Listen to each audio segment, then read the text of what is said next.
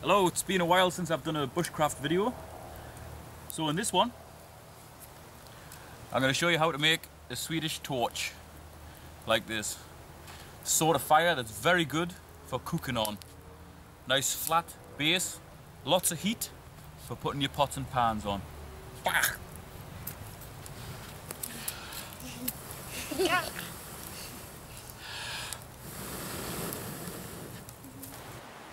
So the first thing to do is to pick a log. It needs to be flat on the bottom, flat on the top.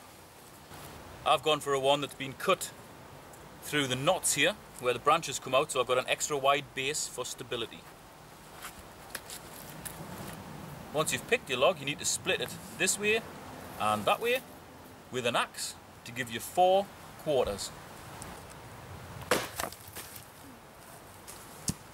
That's it in half. Now I just need to half these ones and that'll give me my quarters.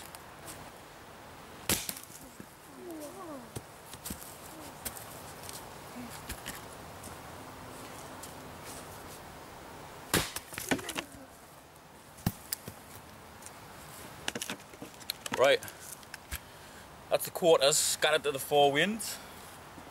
Now I've got to reassemble these parts. I've reassembled them as so. That's where I've split it with the axe. See I made a bit of a balls of that one but uh, not to worry it's in four pieces and we've allowed little gaps between these four pieces and using a hand axe I'm going to chop these pieces of wood up to make kindling and slot them down inside of here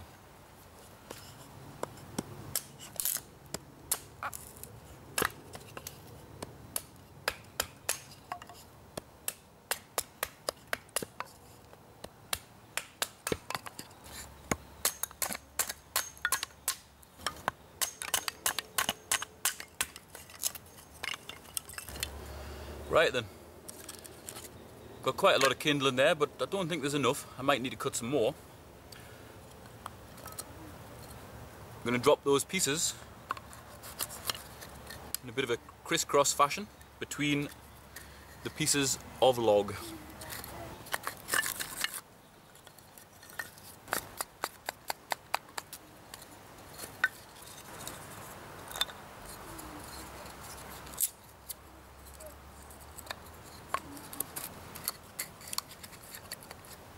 Because this is a very big log and the kindling doesn't stretch right across it, I'm going to snap some bits up and plug them in the sides.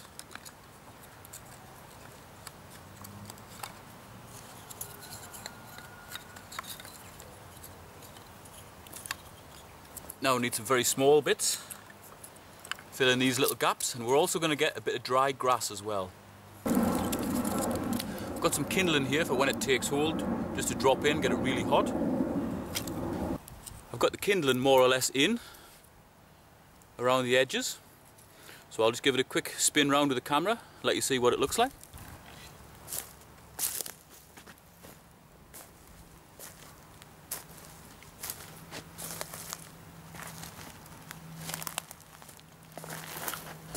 Hopefully you can see from that that there's the crisscross of kindling and there's also dried grass shoved between the kindling.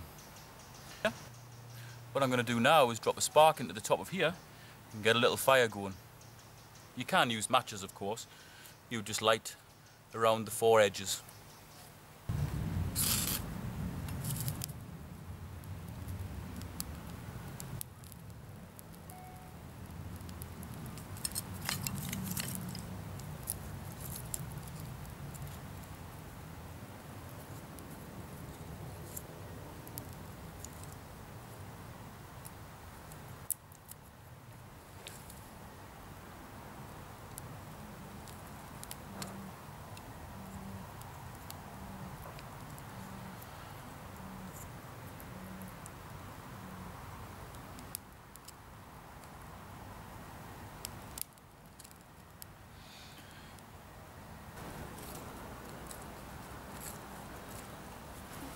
Right, as the fire gets going, I can spread it about so it covers the whole cross. And it should work its way down. If not, you can light a stick and give it a bit of encouragement by lighting around the edges here.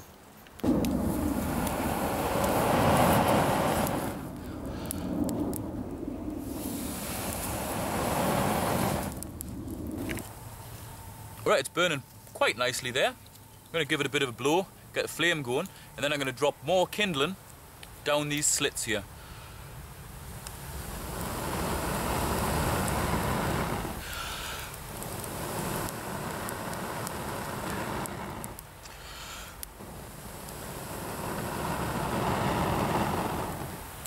That's a pretty intense flame.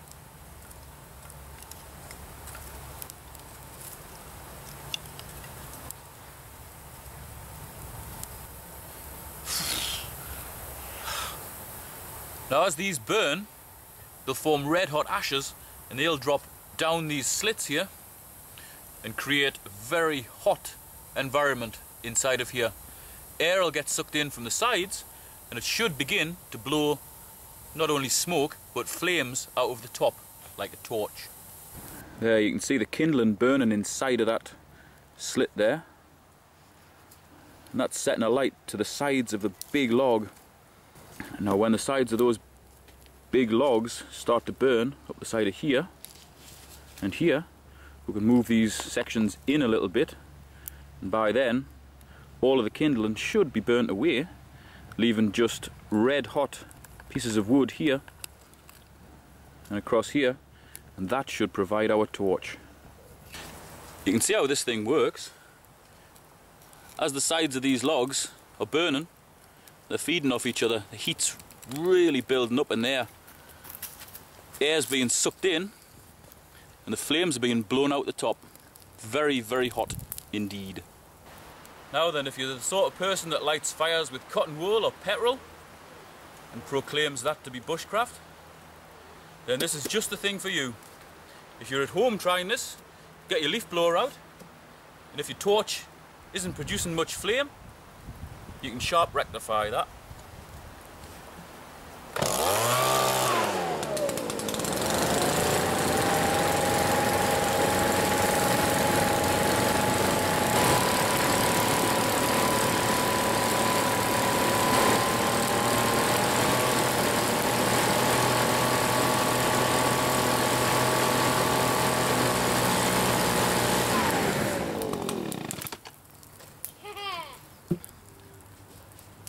That's job done. That saved you all the time waiting and farting around with little bits of kindling. But if you're out in the bush, most people wouldn't have a leaf blower to hand. So if you take the leaf blower part of the video out, that's a pretty good bushcraft lesson. Pan goes on top of there.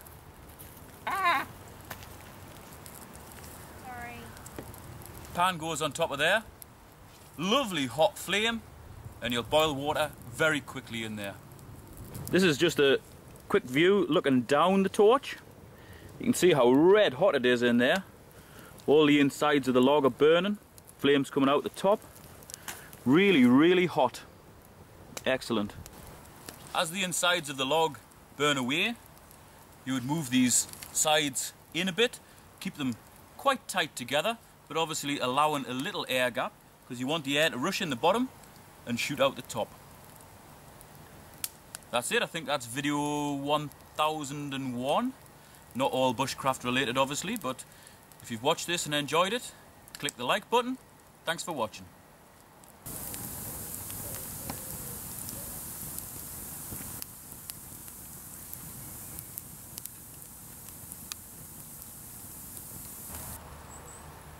Still recording. I knew that. But why didn't you say? I thought you were still doing the video. Was still doing a video of us sitting around doing note. Yeah.